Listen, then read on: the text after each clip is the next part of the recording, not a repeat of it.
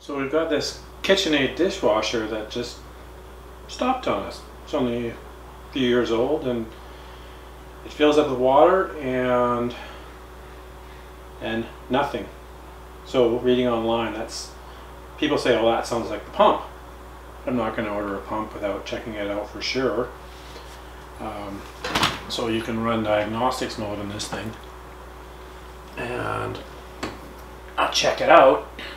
And then even at that, I still wanted to do a further test to be sure what it is. So I'll show you how to go into diagnostic mode. It's pretty simple. You just push three buttons three times within one second of each other. It Took me a few tries actually, having said that. But I got it done. You pick three buttons and you press them.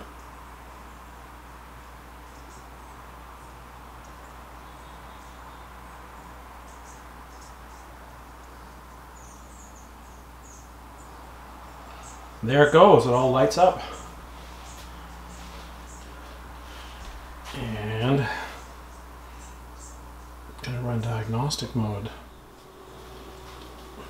So after you start the uh, diagnostic cycle, um, took a minute to remember this, um, you close the door and then it will go into diagnostics mode and you can see the clean light there is blinking. So let's count. One, oops, let's do this again. Oh, one, two, three, four. Pause. One, two, three. Counting the blink to the light after I closed the door, which I, initially forgot to do after I started diagnosing. There it goes again. One, two, three, four.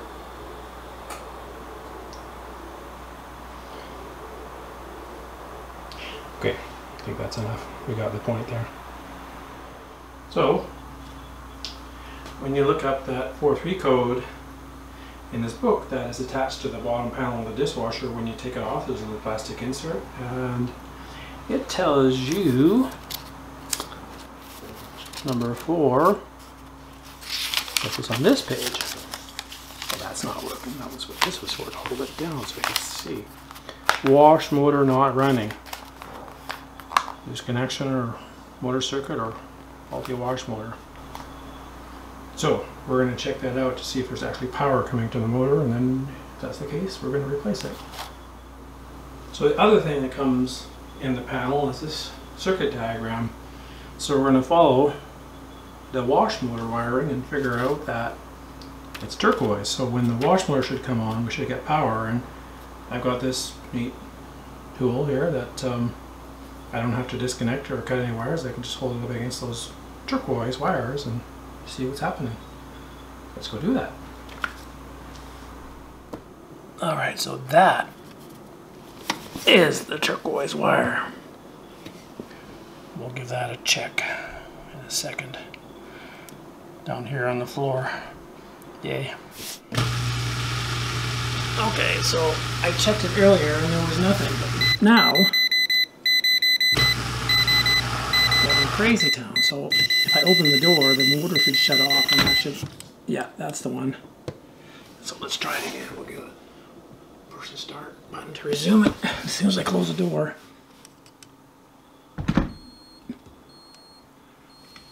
Or not, because I have to. There it goes. That's it. I'm gonna replace the pump. Well, the next trick is to move the dishwasher. There's lots of instructions on that online. Basically, shut off the power, disconnect the power, disconnect the water, or disconnect the drain. And then the screws that hold it into the bottom of the cabinet, slide her out. Now we're going to tip her upside down because that's where the pump is. Okay, well, so I lied. I only tipped it on its side. That's going to be good enough. So here we have the pump and we have to disconnect the hose that's in there and I read that this has to come off to get access to the hose whatever this piece is so that's what I'm going to do and this apparently it just slides out I've already unclipped the power so let's do it Alright, so I've got that thing off. Apparently it's called a diverter and there's a shaft on it. Apparently you do not want to turn that otherwise it won't go back in. And I managed to get this undone. I just used a pair of needle nose pliers to bend these tabs back and she popped off.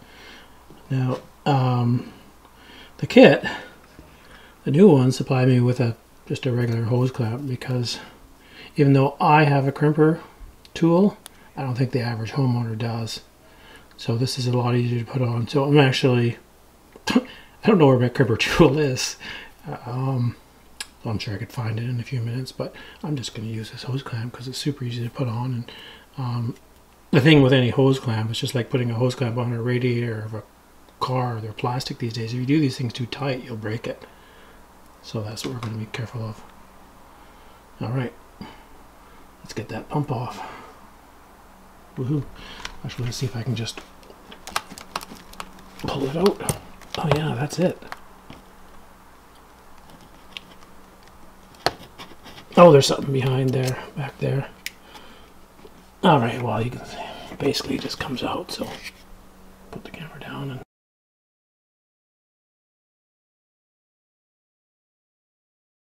All right, so basically we just slide this back in. We'll make sure those wires are in the right spot.